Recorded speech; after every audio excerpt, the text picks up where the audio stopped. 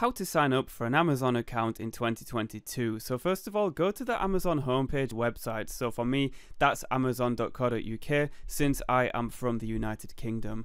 And then hover over your name to the top right of the Amazon homepage and then click on new customer, start here. So we're going to click on start here. And then simply type in your name, type in your email, type in a password, and then retype the password once again. And now we're going to click on verify email. So now I need to head over to minutemanual at outlook.com to verify my email. And we're going to copy this one-time passcode. So I'm going to click and drag over it, right click, copy, and then we're going to go back over to Amazon and we're going to right click and paste it in. Verify. Now we need to add a mobile number and this is for enhanced security so I'm just going to do this quickly. And now I'm going to type in the one-time passcode that I received as a text.